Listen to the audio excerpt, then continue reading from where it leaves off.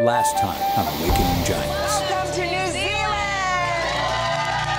One member of each team will be required to take a flying leap. My first thought was, I need to go home. I'm terrified. Hey everybody,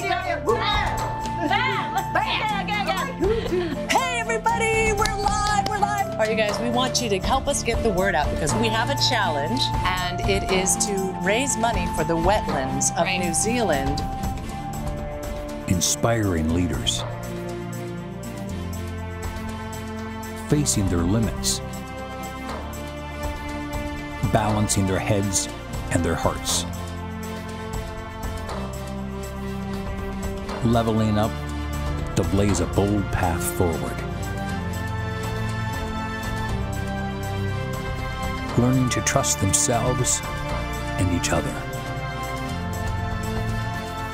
This is Awakening Giants.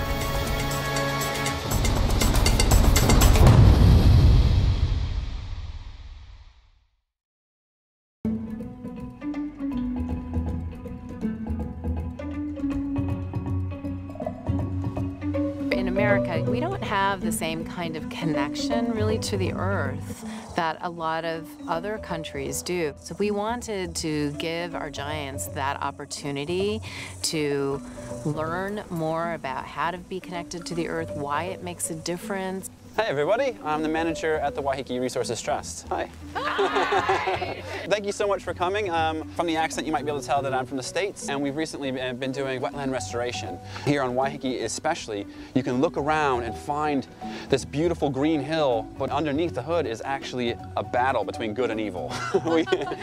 It's very serious too because there is a huge amount of weeds. What these weeds can do is suppress the native species, and then we have an unstable hillside that poisons our wetlands.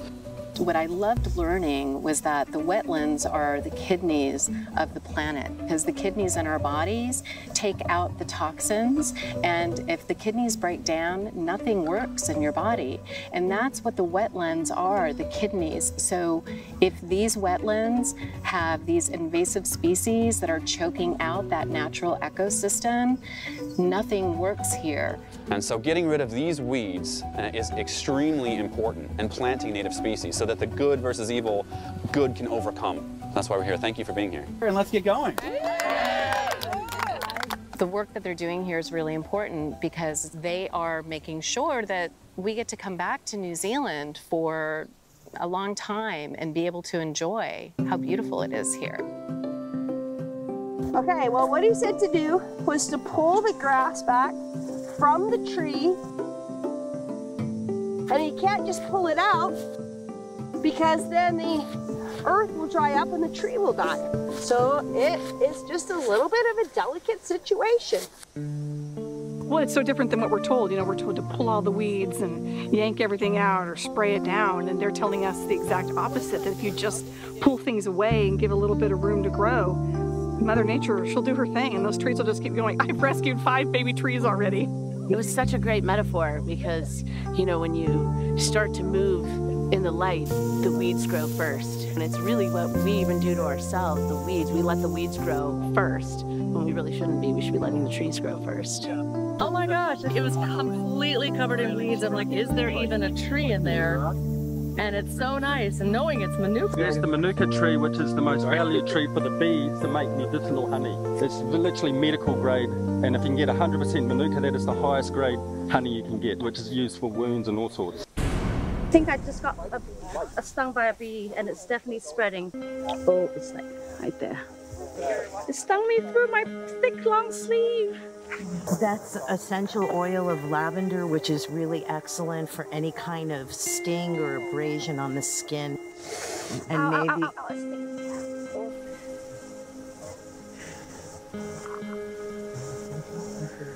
But I don't want to stop. My mom is really upset. We have a bee allergy and there are bees here. They're making me come off the hill because I'm allergic to bees and I don't have an EpiPen. I'm mad. I'm sad. It's going away, Pam. so glad. I want to do this. This is the best part. I'm going right back to work. If I don't win that damn contest, I'm gonna be really pissed. That should be the reward for me for not being able to do this.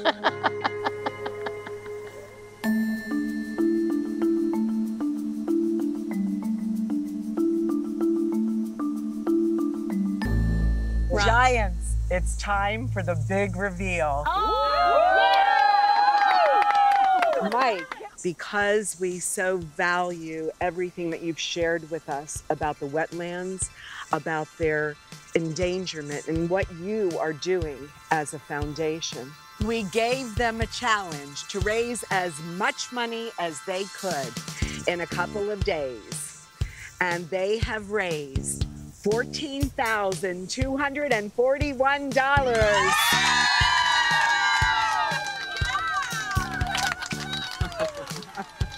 The Giants raised over 14,000 American dollars. That's 20,000 New Zealand dollars.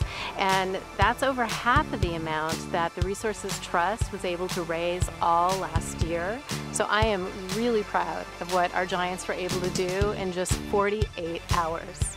Congratulations, Giants! Wow. You've made a giant effort in just 48 hours for these wetlands. And a giant impact. And now, we want to know. Do you want to know? Yeah. Do you really want to know? okay, so the total of the winning team raising $6,350 is Team WWW.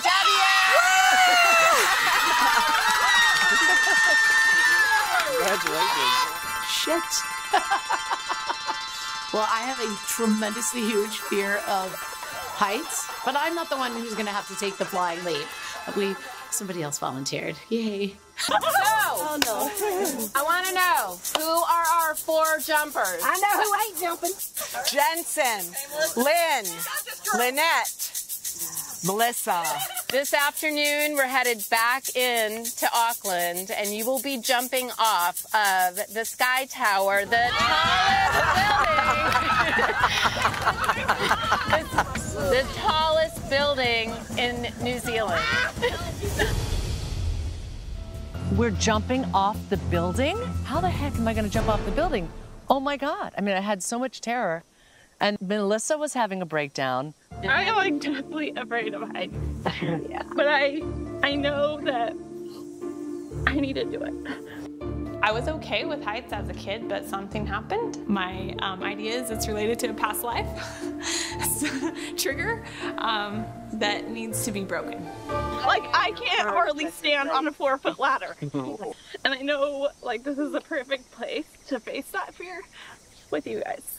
There's something in therapy that we call the soul's wounding, and it's that necessary passage, rite of passage, that all of us need to go through, where we change how we move ourselves forward on earth. It is so inspiring to see these women who determine that they are going to work through their fears, work through their anxiety, and leap into the unknown. Melissa, we're all here for you. You're not going alone. Last night I had nightmares because it makes me so scared. I'll either be screaming and crying or not saying anything because I don't think I've been like this afraid to do anything else.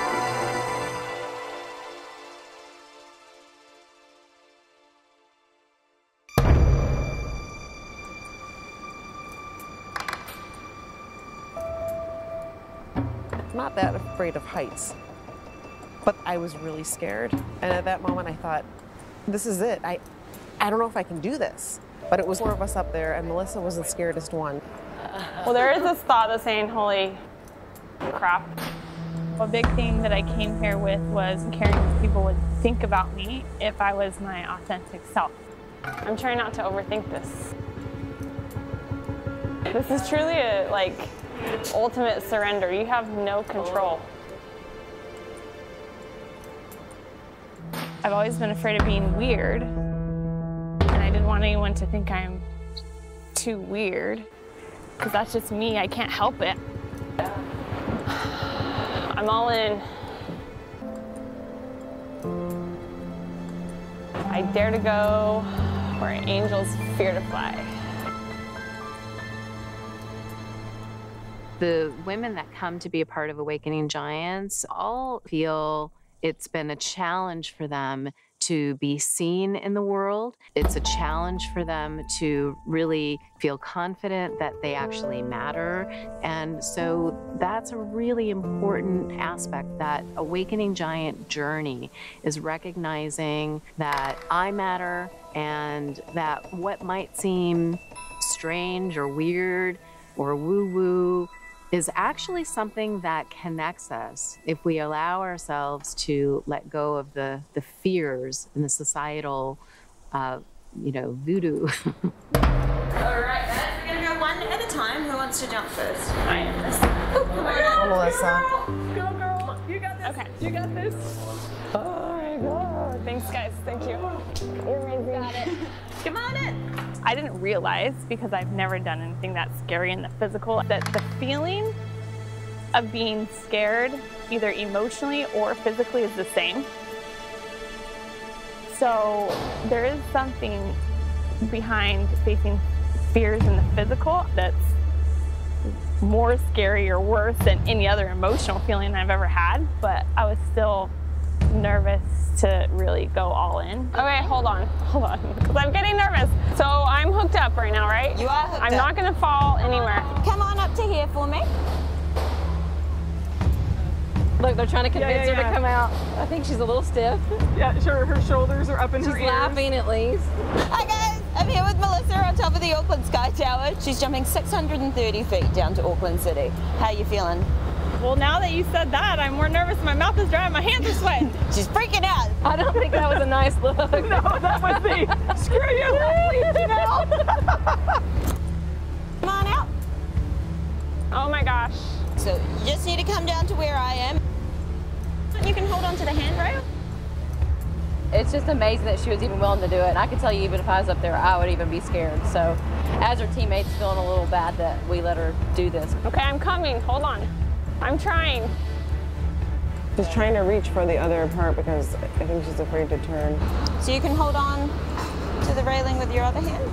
That's freaking scary. And then you're going to bring this foot all the way down to where mine is. So just keep shuffling down until you hit it. That's the one. A little bit further. So she's having trouble getting to the edge. Yeah, if I just Oh don't, my look, don't look down. Just don't, Don't look, look. out. So like move your whole body so that you're facing forwards and now stretch out. So underneath, underneath. A little bit further. Feel where my hand is? Oh my God. Come on, Melissa, you got this. There you go. All right. Toes right up to the edge for me, honey. Do I let go? Not just yet. She's just Oh. Jesus. She's like, oh my God. scared. Oh my God. So, I mean, it takes Yeah. guts for anybody to jump off a building, but for her, this has been such a point of fear and anxiety. Come on, Melissa, you got this. That's the worst part is waiting right there. The waiting.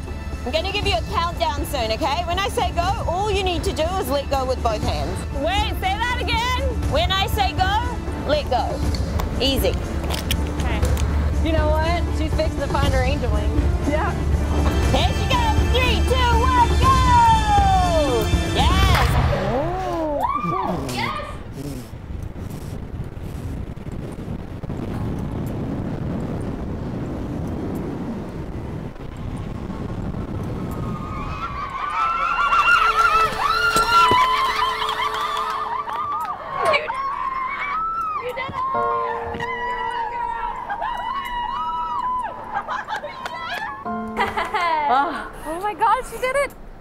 proud of you. Oh my God. You just did it. You just jumped off a freaking building. I like don't have words right now. It's okay. Other than I did it. You did it. you did it. Women are very intuitive, and we learn at a very young age to shut that off and just be logical, right? So all the women here are really opening up to trusting their intuition again. That was so scary. I didn't. I said, angels hold me. And then I felt like I was flying with them. And I felt really good halfway down.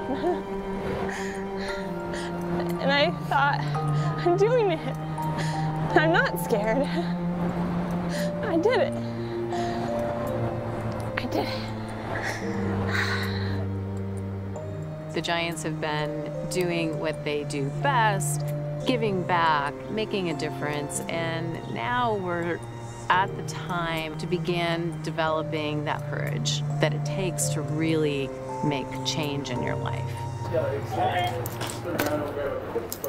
Cool. So looking up at the camera. I thought that was her. Oh, there she is. her. Oh my god. Oh my god. Now I'm scared. you got this. Come on forward. Lynette is scared. She was doing this to conquer a fear, so yeah, we let her do it.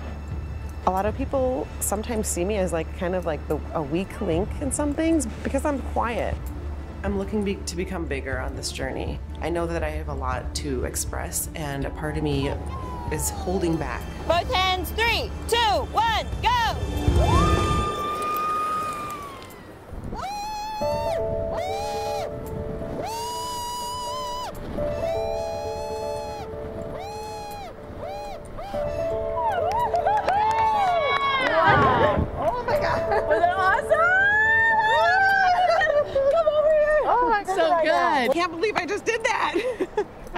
Terrified when I was on the edge, literally right on the edge. It was crazy, like looking over the whole entire city and seeing those buildings and jumping into them. I, I'd never done anything like that before. Just trusting, trusting that I'm gonna be okay. And this was part of my next edge, and I was able to, to do that.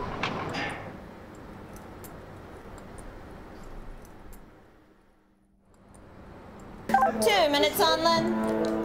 I'm really trying to have my purpose override my fear. My dad basically abducted my sister and I when I was eight. And why didn't mom come and steal us back? Must not be enough. I must not matter. Mom must not love us. And that ache comes up, and we think that's real, and that's in that current moment. Kia ora, everyone. I'm here with Lynn on top of the Auckland Sky Tower here in New Zealand. She's about to do the sky jump. She's That's jumping right. 192 meters. I'm terrified of heights. And I'm just trying to keep myself together. The reality is really hitting now. There's nothing between you and the ground other than a wire. I'm literally on that edge that's looking over. And my body doesn't even want to take the tiniest little step. Terror, terror. Every cell in my body was, no, I don't want to do this. Because literally, you are over the edge on this little teeny thing sticking out. And now it's just about letting go at the count of three. Here she goes. In three, two, one, go! Oh! Ah, try it one more time. Five, four, three. And I can't let go. But at the same time, I knew once I let go, I'm letting that crap go behind me. And I'm going to really launch into what I'm committed to launching into in my life. Ah, try it one more time. Five, four, three. Three, two, one, go! Yes! And there's that half second of, ah, and then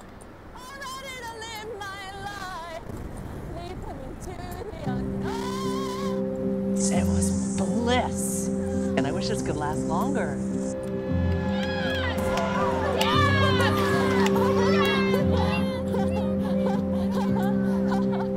I said I'm gonna transfer it into power and purpose and flying and trust.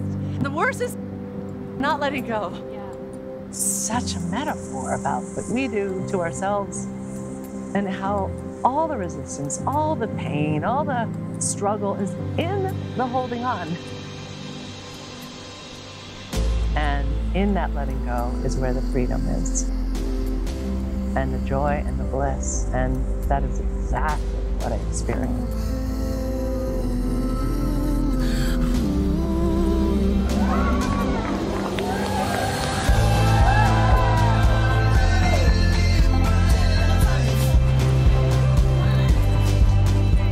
I would say I'm a giant in training. A giant to me is someone who has a goal and will work towards it. I think what makes me a giant is knowing that I have the ability to make change.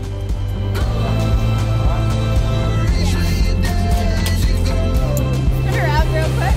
Looking up at the top camera. Three, two, one. We take people from all different backgrounds and from all different places in their success. Some of them are emerging in their success. Jensen is a beautiful, young, wise lady. And at 18 years of age, she leaps into the unknown with her adrenaline because there's no fear. And so Jensen leaps differently than any of the others of us ever leap who are older. Look at her. Oh, let me just walk out there. Oh my no, no, god. she's like, I got this. That's my girl. I think she's just ready to fly. Jensen, as she leaps, is leaping as the adolescent, moving into her majestic young woman. And here I am. I am woman. I landed.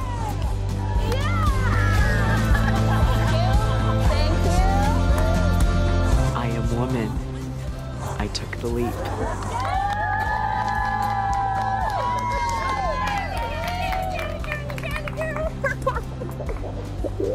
How was it? So much fun. Did you have any fear on the edge at all? No. God, look at you. You're like, yeah, take it. That was awesome. Bring it, Ed. It's another thing we all have in common here at Awakening Giants is societal and cultural barriers, the things that we've learned that are keeping us separate instead of unified. They all have a desire to feel more connected spiritually and not just be up here in the head. They all want to feel more heart connected with each other so that they can break down those barriers, hopefully once and for all, share the gifts of who they really are, and love each other, right? That's what we're really here to do is to love each other.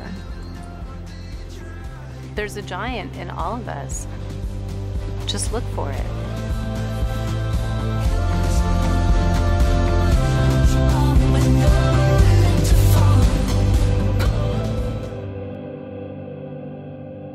Next time on Awakening Giants. Welcome to Inspire Day, Auckland. Congratulations. we have change makers, what we call giants. And what does it mean to be a giant? Like a lot of us here, I've been through it all. I came into a world of a mother who didn't want me. She would tell me I'm stupid, dumb, all the words that you would prefer not to hear. But just do this right now, just to see how it comes out. Give yourself permission. Okay, good. Healing is needed. We as humans really need to be connected back to nature. I felt so completely held, so completely in her grace. Like nothing I've ever felt, not even with my mother.